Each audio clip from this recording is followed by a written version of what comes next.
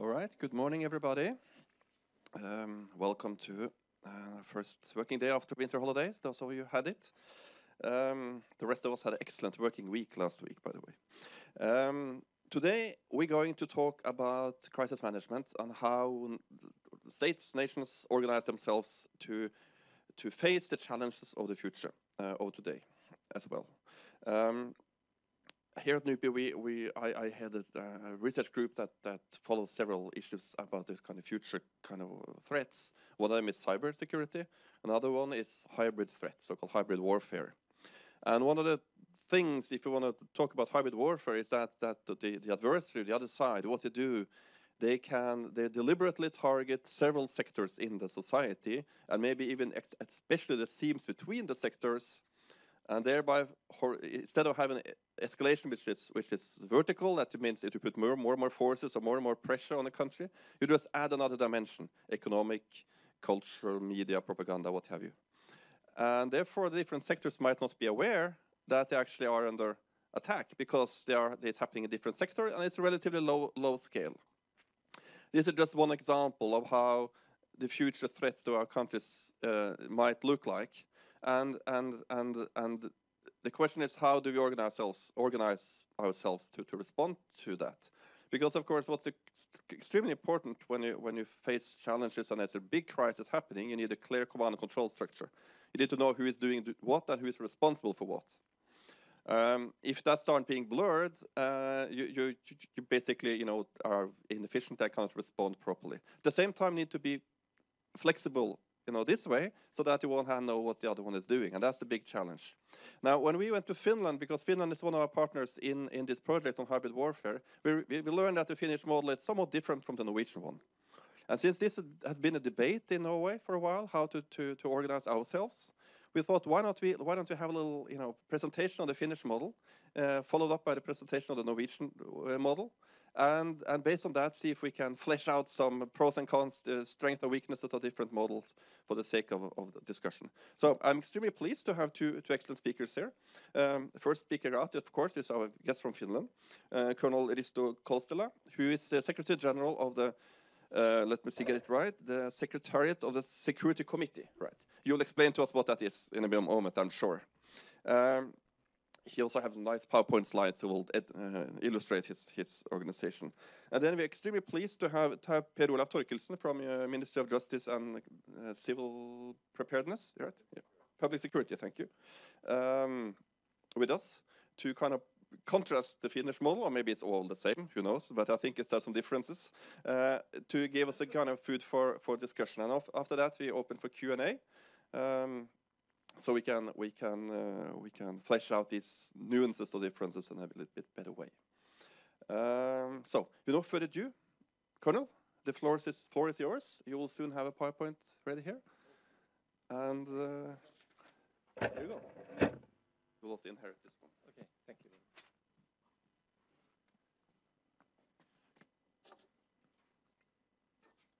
Okay, thank you very much. And, uh, yeah. Okay, thank you very much, ladies and gentlemen. Good morning and greetings from Helsinki. I just arrived half an hour ago. It uh, seems to be that we are very well connected. Not not so well in Finland because it took two hours time from my house to drive to Helsinki airport. But here it it it worked much better. But it's good to be here, and I'm uh, I'm very happy to to to show and uh, and and tell about our system that how it looks like. Hopefully, I I know I I learn how to use this machine. Okay, let's start. This may take something like a quarter an hour, 20 minutes. If I may use that time, it's good. Day by day, we all have better common understanding of that our societies are much more uh, dependent on each other when we are taking care of uh, welfare of our citizens. But also we are more vulnerable and interdependent when we are taking care of security of our society. Uh, my, my objective of this presentation is to give you a basic idea about our comprehensive system, but also tell about some building blocks, uh, how we have uh, built this system to Finland and how it works and how it functions, uh, taking care of the questions of security nowadays in Finland. This concept is uh, not a new invention, uh, but we all here pretty well understand that it's a, it's a development of over 70 years, actually, from our wartime. During the war, we had only way uh, in Finland to survive was to mobilize whole nation to support armed forces. Since that time, we have had a strong national will for cooperation, will to defend our country, and trust on authorities. They are all important cornerstones for building security nowadays. As we understand society is changing, and we need to take care that these values uh, remain a good level also in the future. In this picture, you can get the basic idea how responsibilities in defense change from normal times to exceptional conditions and wartime. Du during normal time, the civil society has the re uh, main responsibility and military supports it with all resources. If authorities have not enough capabilities to meet the situation. In disruptions, we might be able to cope with normal leg legislation, but in crisis, emergency powers and gives more capabilities and powers to different authorities. When we are facing use of military force or even an armed attack, state of emergency law gives more powers. Then military takes the lead with the support of the whole society. We also have acts on the protection of national security of supply in order to prepare our society for different kind of uh, crises when we are not able to import goods to Finland. At the time, we are working to improve our le legislation for cyber and hybrid threat demands.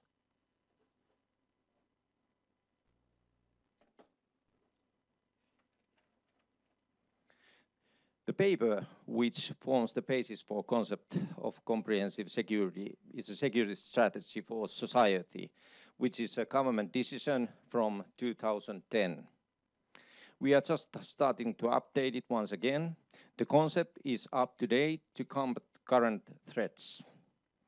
The foundation is on interagency or intersocietal uh, cooperation between government, business community and uh, uh, organizations, even citizens, while respecting the clear responsibilities of different authorities. Nowadays, more and more different functions are produced by private companies. And it's good to remember that there are also something like 130,000 re registered associations in Finland full of volunteers in many purposes. The vision of the strategy is to safeguard these seven functions that are vital to our society and guarantee the desired end states uh, in all situations. Strategy also concentrates on overall security in society. Securing of these functions may be described as a network of uh, strategic actions with close cooperation and support to responsible administration or actor.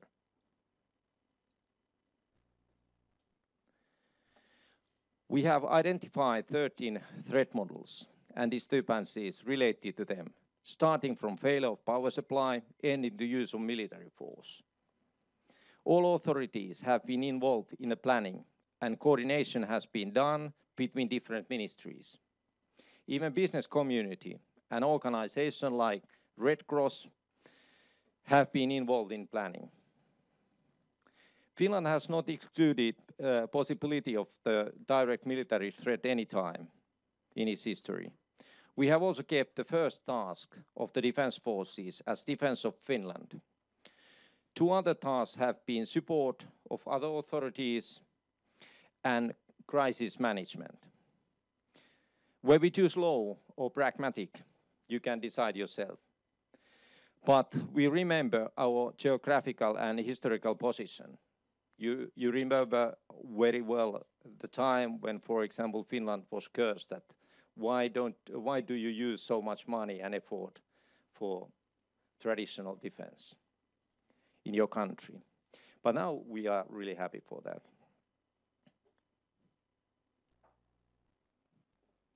In order to be able to protect vital functions of society, we have given all together uh, 49 tasks, but also guidelines for preparedness and uh, crisis management for different ministries. They are also given the responsibility to steer, monitor and develop these tasks and cooperation around them. Here you can only see some examples. We do yearly survey and report to our president and government how we have succeeded in fulfilling these tasks and what should be done to make readiness of our society even better.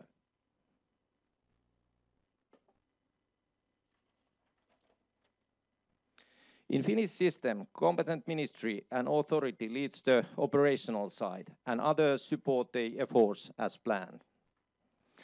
The lines of authority must be clear all the time and efficient preparedness and crisis management require cooperation, coordination, planning and exercises. The authorities need accurate information for situation picture, intersectoral communication and management. Government Situation Center support actively and act as one coordination point in every situation. In the proactive preparedness work, we have intersectoral cooperation bodies supporting governments and ministries' work. Such bodies are Security Committee, Head of Preparedness Meeting, and Preparedness Secretaries Meeting. Good coordination between these bodies are guaranteed by the same secretariats, well, which I am representing here. During the time of management, during the time of management of disturbances or crisis, Security Committee steps aside to advisory role. And the meeting uh, of permanent secretaries has the main coordination role in that case.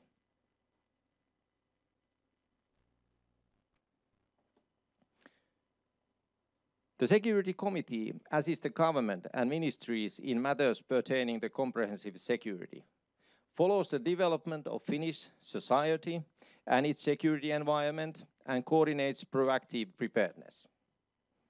The committee comprises a total of 19 members and three experts from a number of administrative, administrative branches, authorities and business community. All permanent secretaries from all ministries and main actors of the security fields are members of the committee. Also, head of National Emergency Supply Authority is a member.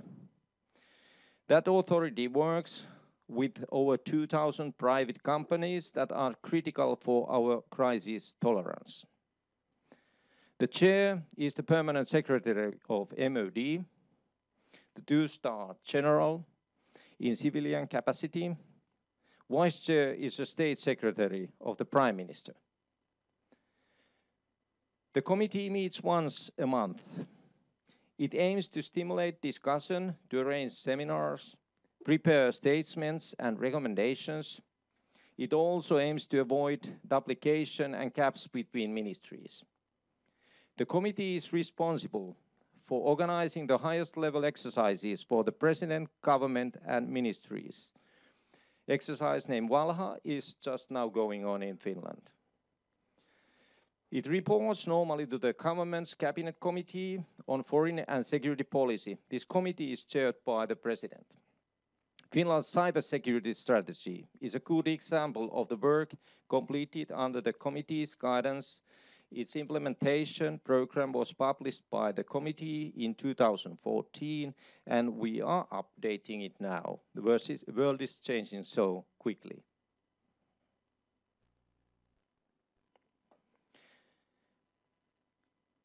And then we talk about national defense courses. Our conscript training system is a remarkable part of comprehensive security concept.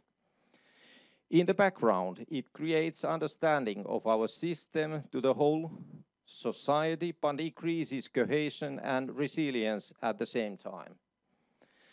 So do also the National Defense Courses system, where the lecturers come from the outside, represented the highest knowledge and experience of their respective branches in Finnish society. For example, permanent undersecretaries of the state.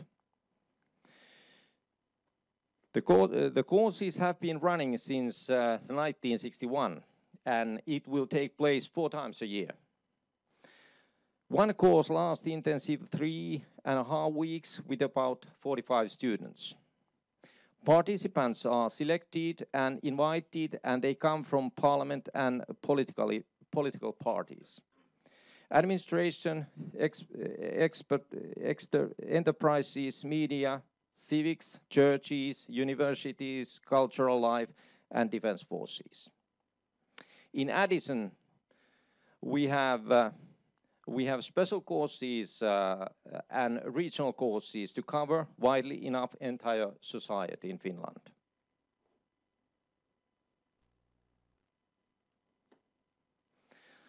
We all know and understand very, very well that hybrid warfare is not a new phenomenon but it is in the middle of the security discussion all the time nowadays. In hybrid warfare, enemy aims to find vulnerabilities in the whole society and then hit to the weakest points without crossing the line of traditional warfare.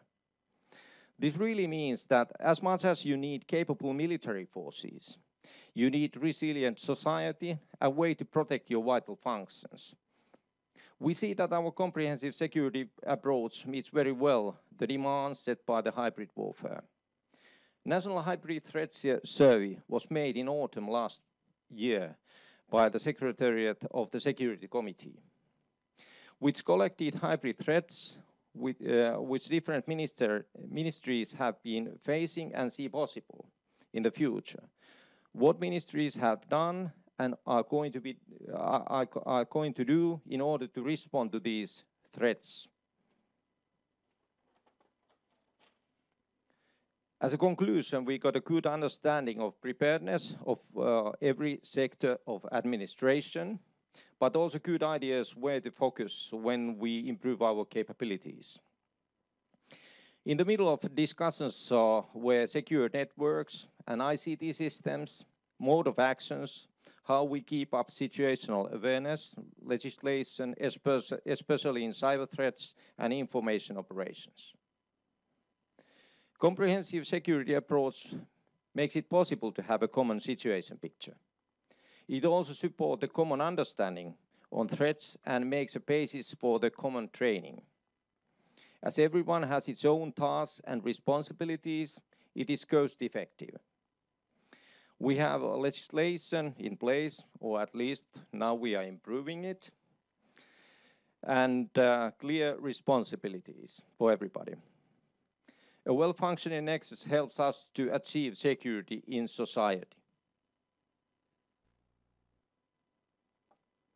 I would like to conclude that our societies are more and more vulnerable and interdependent in many ways. And like before, authorities are alone not capable to take care of the security of the society anymore. We have noticed that our concept of comprehensive approach meets very well the de demands set by serious, serious disturbances of normal times or crises of exceptional time, for example, armed attack, hybrid or cyber threat. The model makes it possible to use all the resources in the society to defend our vital functions. The government authorities are alone, uh, along the business, life and volunteers, and in an organized way.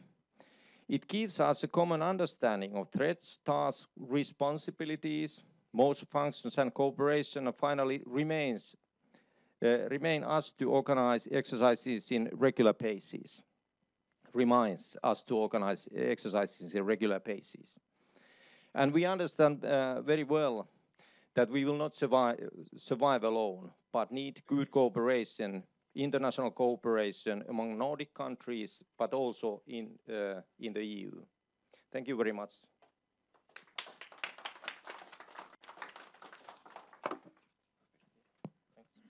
Thank you very much. Uh, lots of stuff to catch up on, uh, follow up on later. But before we do so, we'll invite uh, the, the Norwegian perspective, Per Olaf Torkildsen, to, to present his uh, contrasting uh, position, or whatever you want to call it, different model, right? And then we open for Q&A after that.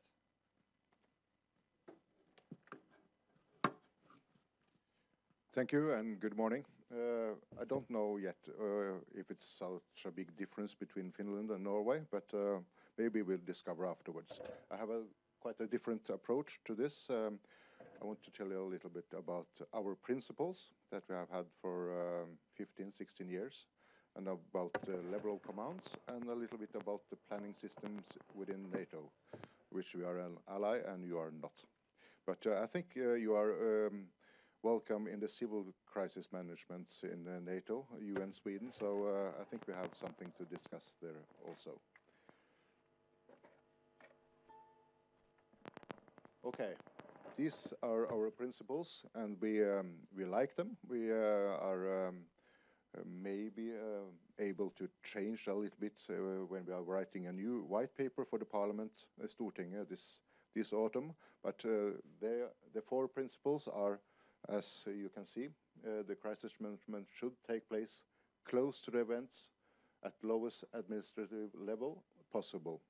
We know that's not a principle uh, for every European country, but in Norway we believe that is an important principle. And the same authorities, organizations and people should participate in crisis management as normally as are, uh, they are responsible. The principle of uh, likhetsprinsippet, as we call it in Norwegian. Uh, that's also important. We, uh, we find uh, there's uh, some some few um, examples that we don't follow, uh, like in nuclear disasters, nu nuclear disasters, but um, mostly we follow that principles. Task may be delegated, but not responsibility, which remain unaltered. That's uh, maybe the most important uh, principles in Norway. Uh, ansvarsprinsippet, it's called in Norwegian.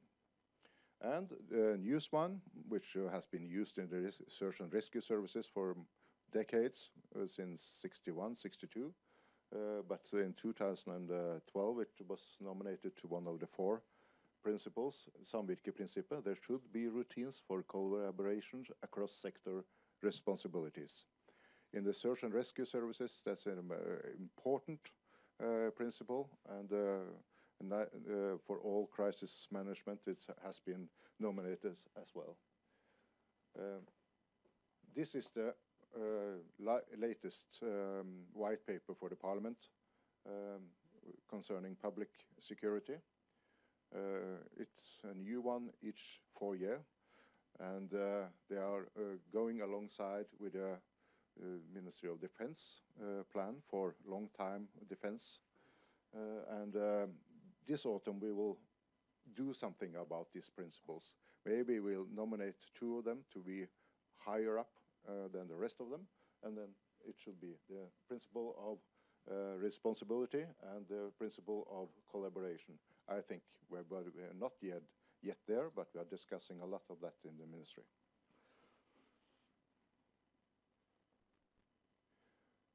This is quite important because uh, on a crisis on a national level, the government is the lowest possible level. So uh, that's uh, quite important because um, it's a crisis uh, concerning the whole nation of Norway. The government is the lowest body. And I will tell you a little bit about this. I'm glad to have some colleagues from the police uh, directorate here. They can uh, maybe fill me out if I miss something. Um, we think this is important, but not everybody in Norway follows this structure uh, as such.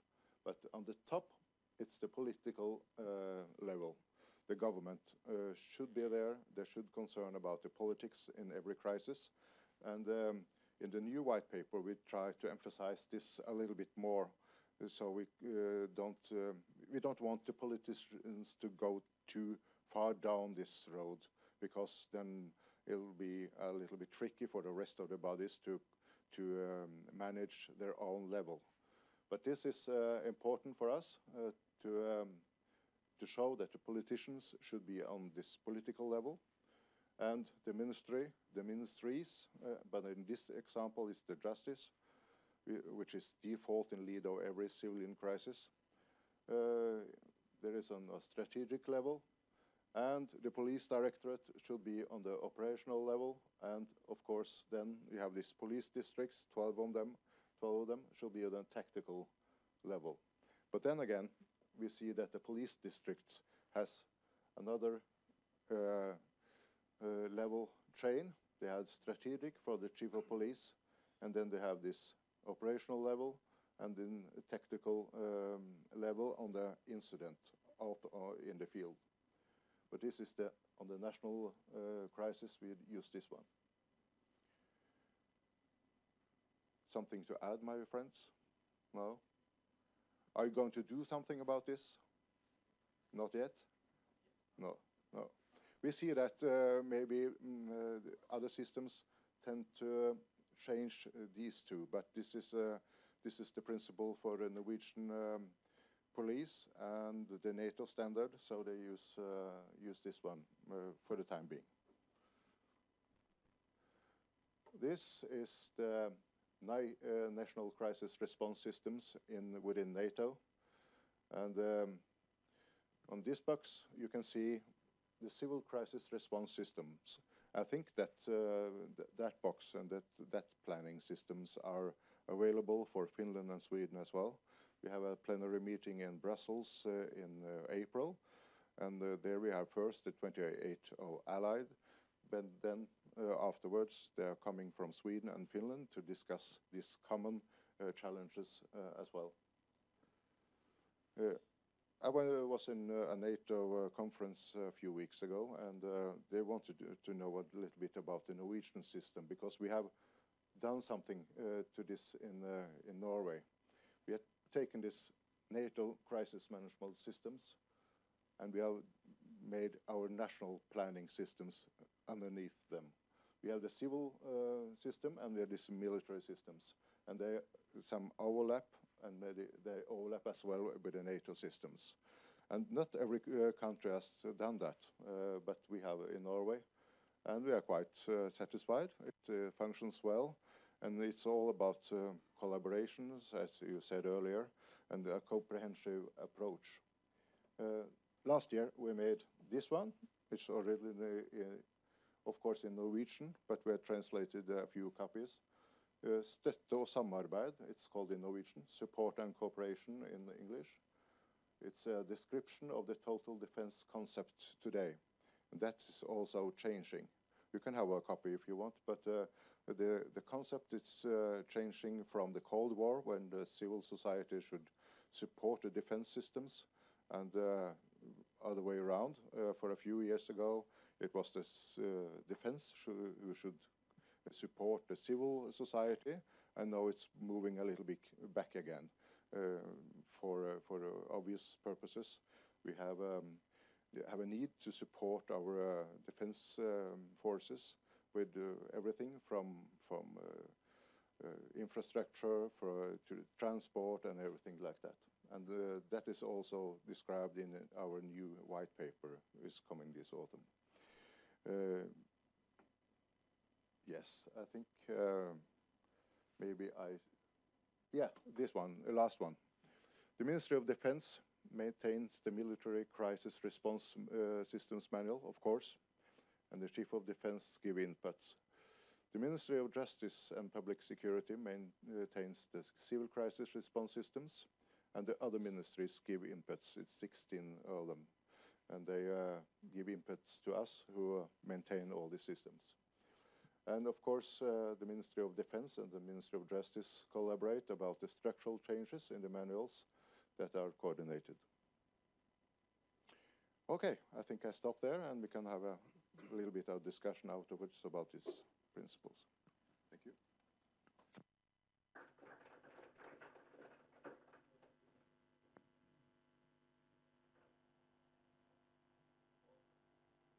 Well, thank you so much, both of you. Um, you need a pen? Um,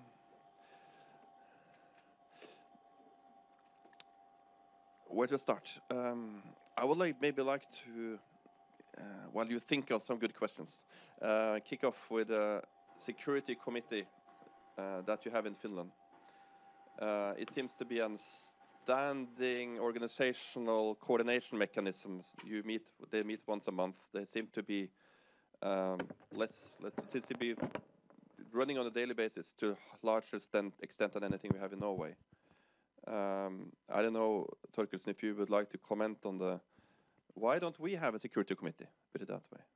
Thank you. Um, I don't know if we need one. Um, we have uh, Kriserådet, which means uh, which meets uh, every 14 days.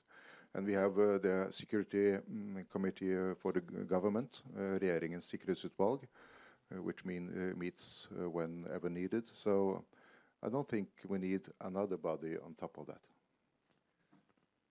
Uh, maybe you want to comment. Why, why, do, why do Finland need it then? Uh, I, I must say the value of the secretariat is much as much as uh, the committee itself, because uh, we, in, our our secretariat we have uh, members from every every ministry, every every member of the committee has represented also in our our our secretariat. It means that we are we are working every day for these cases together. So we know uh, exactly that what is going on under every ministry. And for example, uh, our security, uh, like police and, and military and so on. And th th that is quite important in that case. But one, one thing in our committee is uh, what is important also is that when they come to our meetings, uh, ca it can be that it's once, once a month or two times a month and when, when it's necessary. They, they, they don't have that burden of their own ministry. They are not so busy, but they come to talk about these things together. So there are no uh, any kind of limitation.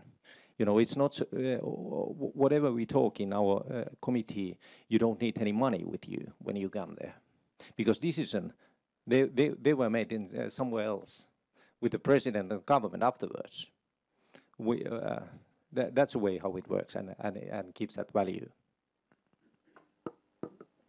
But if, if I may follow up then, mean, we saw the presentation from Norway. It's Minister of Defense and Ministry of Justice, which are the main stakeholders. You had a more generic uh, presentation, but in practice, is it still the same ministries that are doing 90% of the of the tasks, or is it really Ministry of Education or what have you, uh, as engaged as as you seem to present? Uh, of course, uh, whatever is the case, uh, uh, one of the ministries are, are much more in that case, and, and others are supporting. I understand pretty well that, uh, of course, when we make decisions, th those ministers need to take care of these decisions afterwards also. Now, another thing you mentioned, um, it's common understanding. I think that's a key word of what you're saying. To, to one thing is to, to have an organization and communication, but basically have a common perception of the, the risks or the threats or the situation, not just across ministries, but also to the private sector. You mentioned the private sector companies, and you mentioned even like civil society, Red Cross. And therefore, I go back to you, Torkildsen. Why we do we have sufficient common understanding in Norway, or, or is it just being dealt with within, within the uh, you know traditional security organizations? Uh, are we prepared for uh, uh you know, when a, a, kind of a crisis which goes surprises us goes across sectors.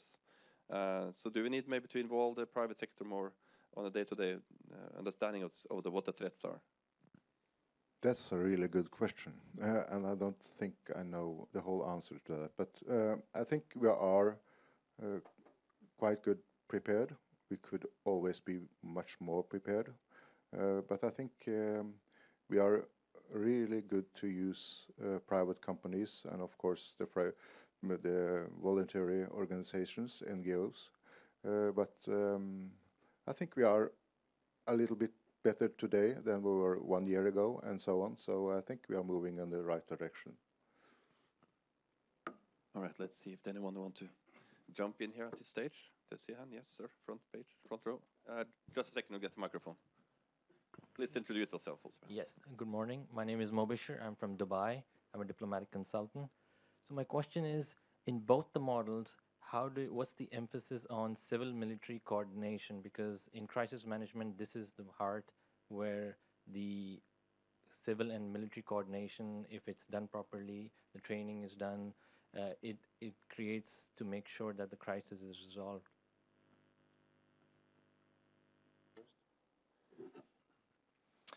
In in Finnish system, in peacetime, our our army is only a uh, training organization, and and uh, when we need our defense forces, it means that our uh, our people are actually those soldiers, and and and they understand pretty well uh, our society, and in that system, like I, uh, for example, in our case, there are certain level. Uh, territorial level, but also also that the higher level security committee. As you notice that that the military, other secu security organization and, and ministries and civil organizations are working together. So uh, I have a feeling and experience 32 years in army. Uh, I was uh, Häme Regiment commander three years before actually I came to this position. And I, I, I show that even in the peacetime, we are we are training pretty well with police, uh, fire, uh, fire brigade rescue, and civilian organization in everyday life. So it works also uh, during time of crisis. In Norway, we have a system uh, which everybody uh, acknowledge and uh, know. I think the defense know that they are responsible to, for the state security from threats from abroad, and in peacetime, the police are responsible for crisis management within the country, uh, some, sometimes supported by the military, uh, uh, like helicopters and special resources. But um, I think the, the principles and um, the way we do it are known to everybody and they acknowledge and they, I think they, we are familiar and we like them, like that principles. Um, yes, hello. Uh, my name is Eric Reichborn. I'm from NUPI. Um, my question um, regards the the difference between a crisis and then preparing for the lower level kind of problems, like the hybrid maybe. Uh, and it seems to me that the Finnish model is very much more set up for dealing with the problems before they become a crisis. It seems to me that in Norway we are only able to deal with a problem uh, when it becomes a crisis. And then it kind of ticks off the box, and then we can do something. Uh, you could be right. I'm not uh, able after this few uh, minutes to um, to agree totally with you, but but you could be right. Uh, I think maybe we could do more about uh, dealing with crisis before they, before they become a disaster, for instance. So maybe. Didn't you a little bit easy off the hook there? Let's push a bit further there. Huh? Uh, I mean, because that is, if I may follow up, uh, I mean, it's it is that is something that we look at in hybrid warfare. I mean, exactly what just below what you say in military terms, just under Article Five, right? Just before the the big thing happens, like the big, uh, and and we let okay, let's take cyber as an example. Cyber attacks, right? You might have a number of cyber attacks happening in different sectors, bank sector, private sector, uh, certain government agencies at the same time. Seen on, you know, they might be serious altogether. They might shut down important functionalities in different sectors. Uh, and but there's no like we're not on the level that you will call a crisis meeting and, and the prime minister's you know crisis management will not be established. So uh, how how would we deal with that in case of Norway? That's also a good question. Why we're here? Yeah, that's why we're here. Uh, these principles uh, I showed you, the last one was nominated in 2012. Um, principle of collaboration. That means uh, that means uh, that we should uh, approach these uh, challenges together. But that means also that there could be a, a, little bit of problems because we have this principle of sectors, uh, and every sector are responsible for their own sector and uh, and every tasks within that sector. So uh, I think we can do uh, something more, and this uh, fourth principle are quite new, and we think we'll can emphasize that principles in the white paper uh, this autumn. But the principle collaboration across sectors uh, that should be, for me, the answer to that. That seems to me that maybe Finland have developed some kind of a organizational response to that uh, in a better way than Norway has, maybe. Uh, sorry, your next. Thank you very much for a very interesting presentation. My name is Kjell Myhre Jensen, and I've been working with the Nordic Cooperation for many years. I should say that um, the Finnish presentation really showed the real life, showing the picture starting with the last war. The Norwegian presentation starting with some nice principles. Always been impressed by Finnish politicians, how they are facing the reality, making decisions. It seems that the Security Committee is a committee with hands-on. I just have short questions to both of you, and it concerns the um, um, these um, operations, um, which you can see. I, I've forgotten the, this typical name, but uh, you see clearly in the Baltic states where um, some uh, outside can influence sectors like uh, regional development, like the um, education development. And my questions to both of you, are you also giving advices to the political level if they are changing the policy, they will re reduce the possibility of uh, outside influence in these sectors? Yes, uh, is the short answer to that question. We do um, try to give advices. Um, uh, that means that doesn't mean it's been heard all the time, but um, we have these arenas when we can address these politicians and give them the advice from the underneath uh, bodies, from the ministry itself, and from the directorates and so on. But not very often and not always heard on these advices.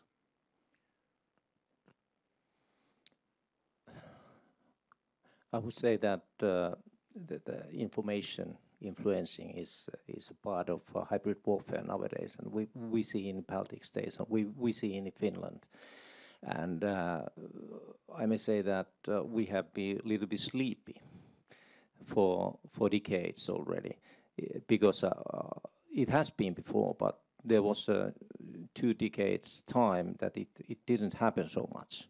But now nowadays we are working much more about that. It means that we are following what is going on and and and and uh, trying to uh, trying to have some kind of a narrative that that, that, that what to follow and and giving uh, advices all the politicians and every everybody who is working around that that who is feeling that influence and uh, and and we have noticed that uh, you really need to have your own organization for that.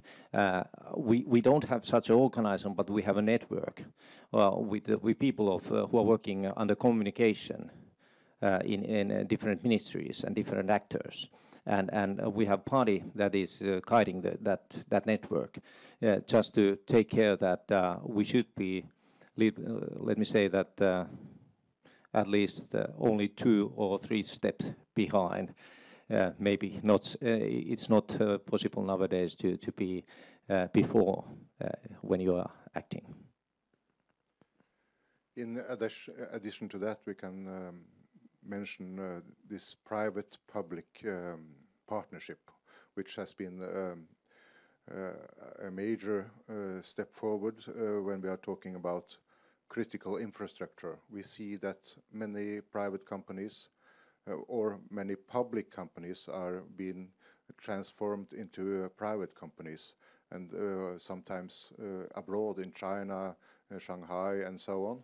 And that gives us new challenges and new problems. how can we deal with a telecompany who operates on behalf of the Norwegian government which are owned by a foreign company. That's that's uh, a new and uh, um, very interesting problem, and I think it's uh, common for every European country.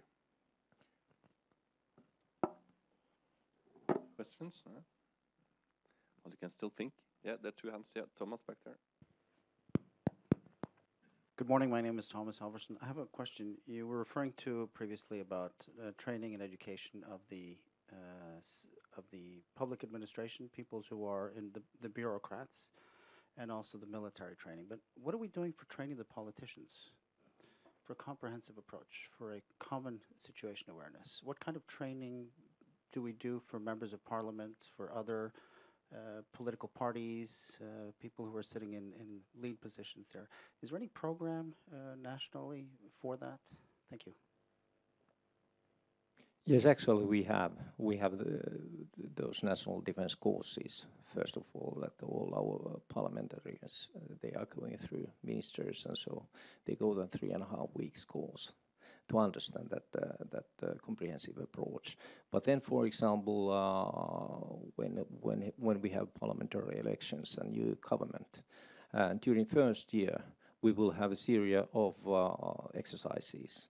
Actually, this one, Valha, which is going on just now, started last year in autumn, and third third phase is, is not uh, just now going on. It means that, and uh, within a month, we will tie our president and the prime minister and government to that training also.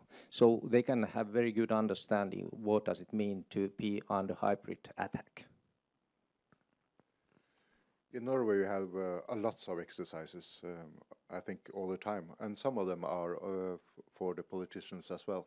Next week, we have an um, uh, exercise called CMX. It's a NATO exercise, not for the people on the ground, but uh, uh, for the ministries and the directorates. And we also have this education that you told uh, about from Finland. We have the Defense University College, which has similar education also for, for politicians in, in Norway. So you're confident? Well, I'm sorry that you could be have to represent all Norway here, and you, after all, only representing one ministry, but still you have to. That's that's your your, your place to, uh, this morning. Um, I just want to, want to kind of flesh out that it, from listening to you, it seems to me that that Finland has gone further in preparing uh, organizationally for of hybrid threats or whatever you want to call it. But let's set a wider uh, wider uh, list of potential risks that we have to deal with.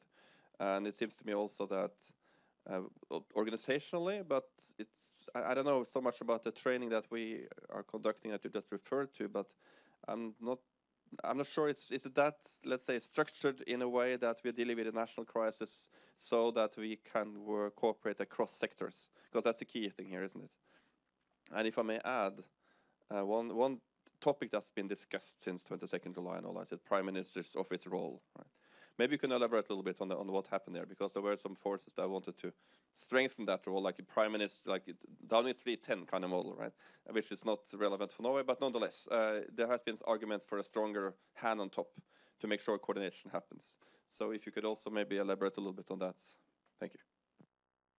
Yes, um, I can a little bit, I think. Um, the constitutional responsibility for civil crisis uh, and so on uh, is uh, for the Justice uh, and Department, Ministry of Department of um, Justice and Public Security. the office for the Prime Minister has the responsibility for the body called the Regjeringens Sikkerhetsutvalg, and they meet when they are needed, and they have this secretariat for this this body, and um, they have a responsibility to somewhat kind of coordination between uh, especially Ministry of Defense, Ministry of Foreign Affairs, and the Ministry of Justice and uh, Public Security. But uh, the, the, constitutional responsibility, as I said, is for our Ministry of Justice and Public Security. And no comment on the my general observation. You want to comment on that? But uh, it seems to me that Finland is somewhat more prepared? Maybe. Uh, we uh, on that uh, concerning hybrid warfare, we are following the NATO systems, and I think we are um, in lead. actually, NATO on the civil side tend to um, look at Norway for a minimum standard of planning and preparation, and I think we are quite prepared, but mm, I will love to look further into the Finnish system let's continue there on the, on the international dimension. Right? Uh, you mentioned NATO a lot. You mentioned EU at the very last moment. But can we deal with this crisis nationally? Aren't they all crises today, almost per definition, also have an international dimension? Can you maybe see, if, I mean, how is how are you tangled into the NATO? If you are, uh, at least you're invited, as I understand, and also the EU system. How do you, how do you combine those two those two aspects, national and international?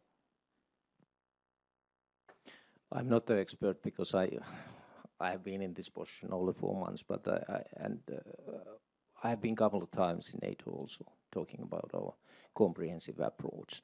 And what I have noticed that that uh, okay, we know all that that all the countries in Europe uh, felt that we are safe in a way that uh, last two three decades two two decades we didn't take care so much about uh, in a way about the security of our of our uh, nation itself or, or our, our people and structures there. Because we felt that oh, all the crimes. The police will take care of those. Or if it's fire it's a fire brigade or rescue people and so. And now we understand much better than, than that, that, that for example in, in, in cyber threats it's a good example. We don't have any borders the threat will come suddenly without any warning, not the bell with ringing bell before it's coming. You don't, you will not get any warning, and and you can't solve yourself. We know that that for example, much about the, the storage of our information is outside of our country, uh, the banking system and so on. Uh, somebody can uh, do the bad things that uh, that it, it will collapse outside your country. So we need very tight and good cooperation with other countries, and we need good legislation together in a way that that you know what it can be state actor it can be terrorist or activist who will attack you once or twice and, and serious or attack it's the same with uh, information influencing. You can't find who is responsible actually. Uh, uh somebody can say uh, that it's, uh, it's, it's a question of the activist who is doing something in the network on social media and, and, and causing harm to your country. But when, for example, the nations, and for example, among the European Union, are acting together it makes it much more difficult for uh, for the threat, rather the people who are causing the threat against the country. That's the way it works. No, no uh, easy solution to, to, to that, but um, okay, let's um, continue. Was a question over there? Yes, uh, my name is uh, Just a second, microphone. Uh, Austdal, and I'm from the Norwegian Police Directorate. Uh, I have a question for you um, from Finland. Um, uh, we had talked about uh, hybrid warfare, um, but on the other end of the scale, um, you have incidents like school shootouts, and you had a couple of incidents in, in Finland. Uh, could you tell us a little about how the Security Council deals with that sort of problems? And if, how do you address those problems in the Security Council. And uh, a follow-up uh, on uh, our Ministry of Justice and how do we do that in Norway on that sort of incidents? Thank you. In our system, competent authorities responsible, first of all, and other authorities they are supporting the actor for example, in a case that shooting happens in the school or there will be explosion somewhere or something like that. Usually it's police, rescue people are supporting, military supporting, and so on. And it works like that. And we have noticed that, like in e every country, that we are never, we are never uh, uh, good enough uh, that we are not uh, enough aware that what is going on. We we can't gather information and and uh, and make decisions there. But the problem is there in on territorial or, or, or local local area. And of course, we are we are uh, dealing in in the security committee in these uh, discussions that, that that we we we make a research. Of course, afterwards we have made and, and, and check that, that that what went wrong and why and and then we we not, uh, we try to take care that that the system is working very well. But as we know that that, uh, when people are living in that kind of society, that it it happens quite seldom. You are never ready. it it just happens, and and and then uh, it's much up to that what kind of people are just now there working with those cases that that you you, you can you can uh, deal so that there will be not too much casualties and you can recover as as fast as possible. Okay, in uh, Norway, these um, incidents are dealt with um, uh, on the tactical uh, tactical level. You will see uh, that is the police district, but on the higher levels, they tend to search for information and uh, uh, even up to the to the Ministry of uh, Justice and Public Security. He wants informations about these incidents because the media tends to um, ask questions on every level. But the incidents itself are dealt with on the tactical level, the police district. Yes, I would like to add something that uh, you, you, remember when I showed the picture that uh, during the time of disturbances or crises, a security committee will step aside and have a, a that kind of coordination role, if ne if necessary, and a meeting of uh, of uh, the heads of the ministries are, are working together in those cases, and it's much the same that of course our politicians and and the highest highest authority of ministries need that information first of all because of media and uh, but because of our own people that they need to have correct information as soon as possible.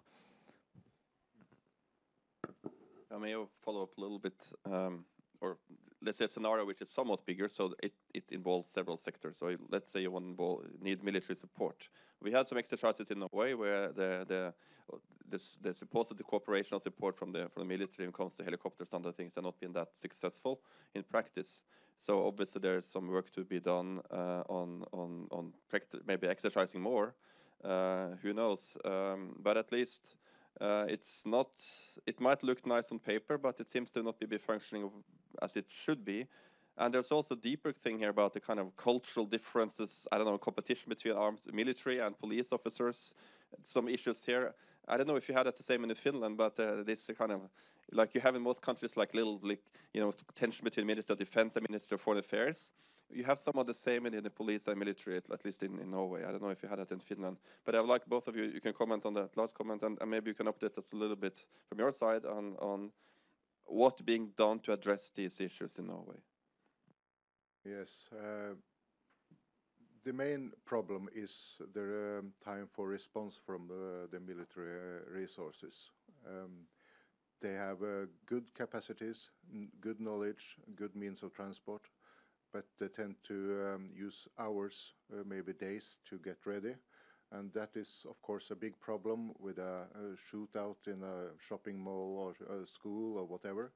And um, that we try to address within uh, comprehensive planning and, uh, and um, instructions between uh, the military defense forces and the police but uh, it's uh, not so easy to change uh, the time for response because that costs a lot of money. In Finland, there were much more limitations before.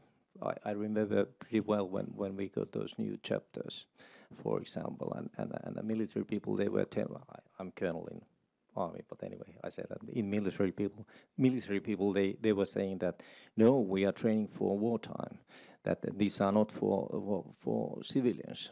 But uh, it, it, didn't take so much time that nowadays, uh, or has been already at least five six years, that that uh, that police, rescue people, and ministries, they have lists that what kind of capabilities we have in army and how long it takes to get those capabilities in use.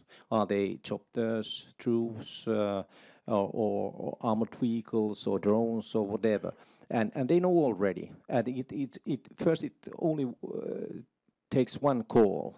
And, and, and, and in our defense forces, we start to, to send those capabilities to to support police or rescue people or whatever. And and the paper paperwork will be done afterwards because nowadays much more we feel that that uh, it's a question that we have we are using ta uh, uh, tax money. So uh, uh, we are protecting people and, and, and not waiting about war. And that's a question. But, but still, if I may, because like if you want a helicopter on standby, the military helicopter, it has to be on standby, which is bloody expensive, as you said. Mm. Uh, you have them on standby so you can respond within a, within an hour or something uh, to a school shooting or something serious, for instance. Yeah, but that's true. Yeah, we have in Utti in our in our, our, our, regiment in in our defense forces, couple of helicopters all the time ready, but also on our border guard. So it only takes a call, and and it make it, it really means that, that the chopper is going there. In Norway, we had made uh, big progress because um, nowadays we don't need the politicians to decide if the helicopters can uh, assist the police. So uh, it's just a telephone call away, for, and the helicopters uh, are ready. But of course, it takes time. I think it's one hour's uh, standby now, and uh, that's that's an one hour uh, which uh, much is happening. Uh, if we are if we are talking about a school shooting, we know that every every school shooting is over uh, less than 20 minutes. So uh, we have still a, way to go. I would like to add this for uh, one one example. For example, when we are using troops, I, told you that, and, you know it very well that uh, this is training organization in Finland, and of course we have that legislation that uh, does not allow uh, authorities to use conscripts uh, in a cases that uh, there could be something some harm for them, and so but, but in every garrison, we have uh, uh, professional soldiers, one platoon or two platoons, which are, which are you know, what it takes uh, uh, two hours or four hours, and, and, and they should be sent to support, for example, police or, or rescue people. But of course, in that case, that uh, that uh, we we really feel the threat now. Uh, if you have followed the discussion, what is going on in Finland, that what the case if somebody comes over your border, it really means that if you if you need to make a call up or have a re, uh, refresher training for reservists, it takes much more time. So the the gap between professional soldiers and and those that that you you get some reservists, it's quite the big one just now, and and we really feel that that, that, that there should be something something in between, and we are doing just uh, heavy work for that. At least you have reservists. uh, please go ahead. Just get the microphone back. Yes. Just a second. Wait for microphone, please, because of the Anna. Microphone, please. Thank you. Thank you. A follow-up question about that. Um, let's return to hybrid uh, warfare scenarios. Um, isn't there a problem uh, using the same uh, resources? Uh, I mean, in the police department as you do in the military department? Who owns the resources in the hybrid warfare scenario? In the beginning, you don't know if there's one single attack or several attacks, maybe.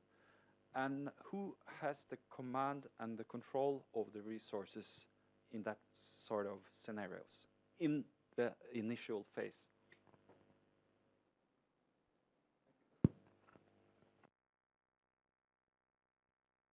Yeah, I would say that uh, it's a bit difficult. I'm not so sure that are we thinking about a hybrid warfare or hybrid threats in the same way.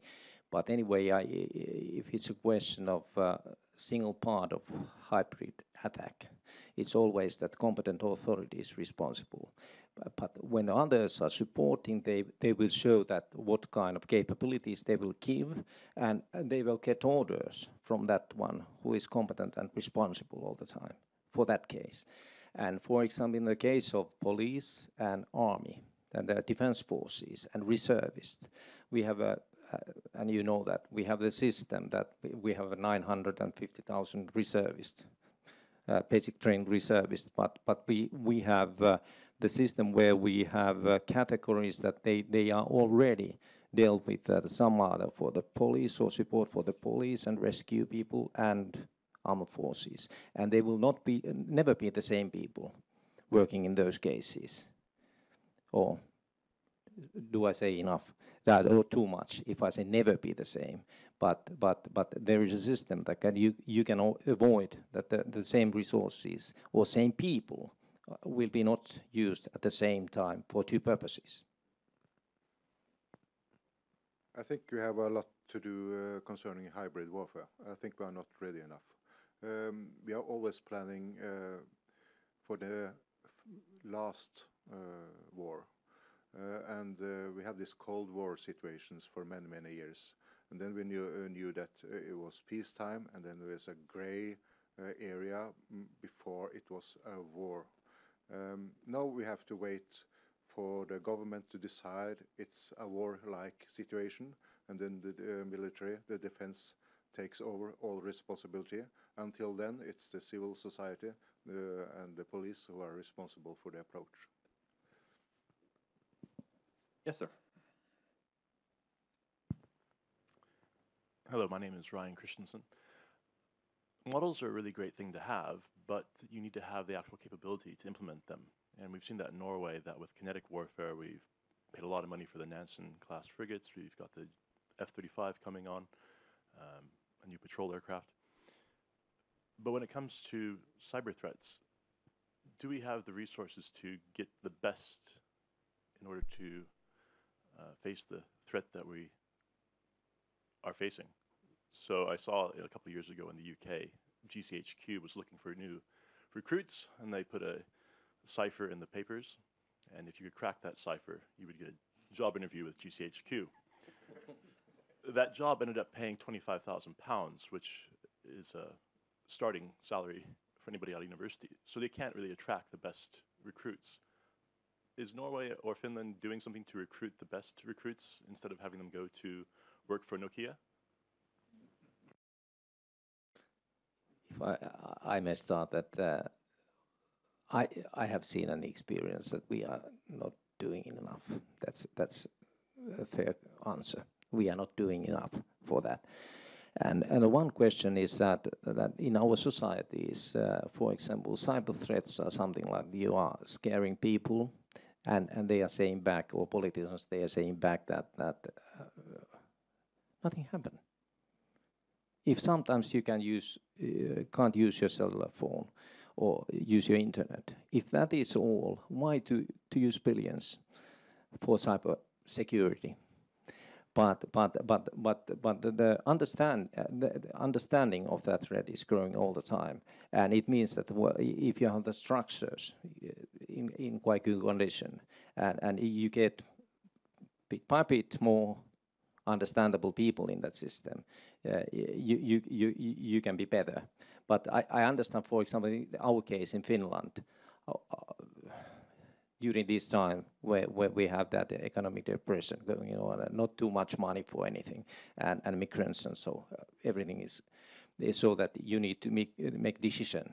Is it cyber or something else? And it's so easy nowadays to make a decision that it's not cyber or just uh, half that would be necessary is used for that but we need to uh, keep our fingers crossed that that we will not learn in a way that something very serious happened first. But um, I, believe that it's in every society that first you need to fall, that you, can rise.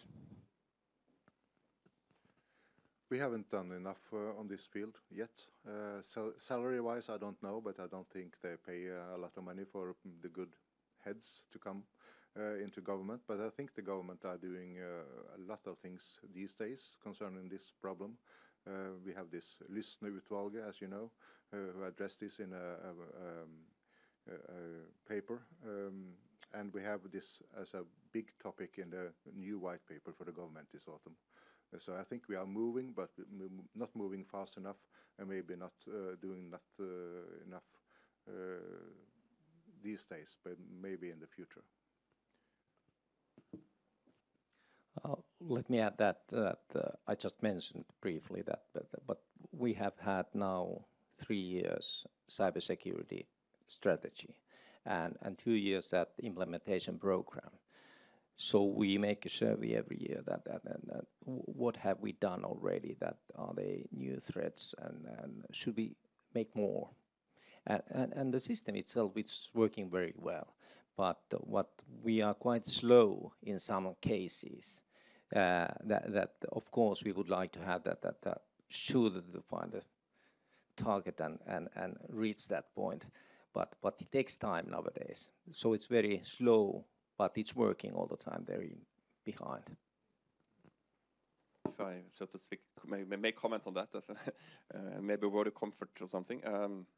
And this is a challenge for all countries in the world because 90% of the infra infrastructure and, and cybersecurity is owned by the private sector. And also the brightest heads will always be in Silicon Valley. We can never compete with it, right? So the key, I guess, for cybersecurity is, is um, um, private-public partnership and cooperation. Um, anyway, that's a comment. I'm sorry, I abused my, my, my position as a chair here, uh, since you also research cybersecurity here at NUPI. Anyway, we are we are getting closer to the to, to, to the end. Uh, any any last question before we we we close? No. All right. I think we have addressed a lot of topics. Uh, we haven't resolved them all, but at least we have realized that two of the topics that NUPI is researching is hybrid threats and cybersecurity. Is on um, it's relevant. That's good for us to know. Uh, we are very pleased that you could make it here to, from Finland, getting up at four o'clock in the morning, uh, and, and, it was useful, uh, very useful, I think. Um, and also thank you also for, to, to Torkildsen for representing Norway here. and sorry you had to take the stab for representing everything Norway does, but that's uh, that's uh, that's very sporty of you. Okay, so let's all take a big hand for the panelists, and uh, thank you very much.